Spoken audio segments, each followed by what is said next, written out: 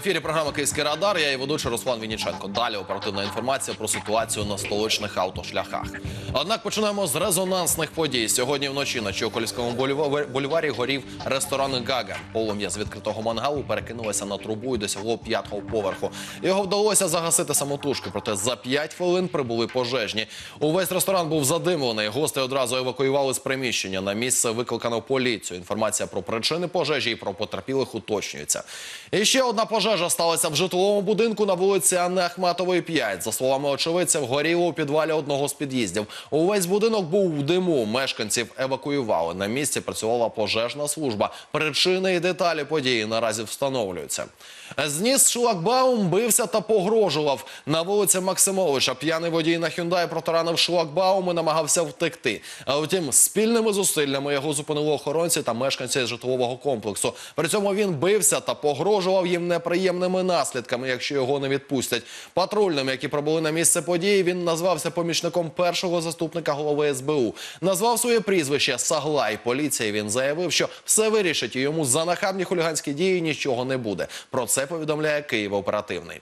А на, пере... на перехресті вулиць Онореда Бальзака та Лисківської зіткнулися автомобілі Volkswagen Passat і Шкода Фабія служби таксі. Як передає сайт інформатор, після удару Passat вилетів на тротуар врізався у бетонну горожу. В результаті постраждав водій Volkswagen. Його з травмою руки, грудей і голови шпиталізували в лікарню. Що ж, переходимо до трафіку у місті. Яка наразі ситуація на київських автошляхах, знає наш журналіст Олена Акіменко. Вона на виїзді з мосту Патона. Тож, Олено, я тебе вітаю. Розкажи нам, що ти бачиш. Вітаю, Руслане, вітаю, друзі. Ми зараз е, знаходимося на е, виїзді з мосту Патону, який веде в сторону бульвару Дружби народів. Праворуч від мене з Надніпрянського шосе рухаються автівки. Подивіться на цей щільний трафік, е, і чесно кажучи, воно це все вражає, тому що я просто розумію, що люди поспішають по своїх справах, хто на роботу, хто куди. І звісно, в автівці переживають, нервують. Можливо, хтось там е, по е, запізнюється. Е, Буквально е, секунду тому назад, от до нашого включення, зіткнулися дві автівки. За кермом однієї другої були жіночки, але вони дуже швидко розібрались між собою. Ну це жіноцтво, і тому радію за те, що не було скандалу, а було дійсно ну така якась на- адекватна розмова, і вони швиденько роз'їхалися.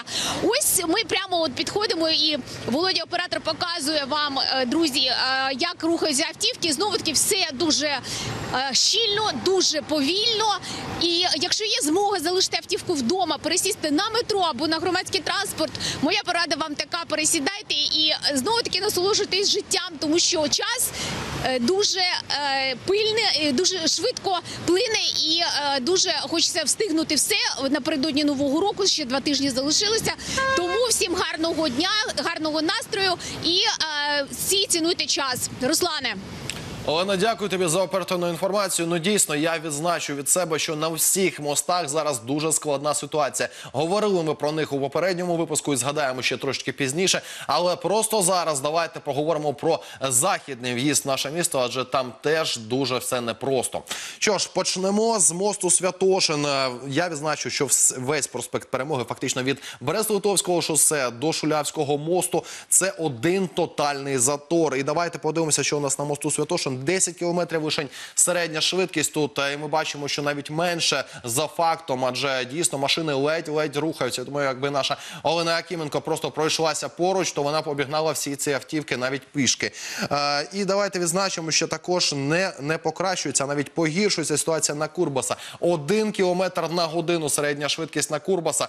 Е, бачимо, що машини також тут їдуть один за одним лише в одній смузі. Все через ремонт мосту в бік центру на Курбаса дійсно дуже дуже все складно. І давайте е, ще відзначимо одну надзвичайну проблемну зону. Це Вадима Гетьмана вулиця. Давайте подивимося, що там в нас. Так, е, бачимо, о, до речі, тут ситуація значно покращилася. Ще нещодавно на гетьмана в бік Шулявки було просто не проїхати. Тепер тут абсолютно чистий трек. Друзі, е, однією проблемною ділянкою стало менше просто на наших очах. Що ж, е, така ситуація на західному в'їзді в наше місто. Це була програма Київський радар. Я вам нагадаю, я її ведучий Руслан Вінніченко. Ви себе бережіть в затори, не потрапляйте, слухайте для того нас. Ми з вами побачимося вже за 20 хвилин.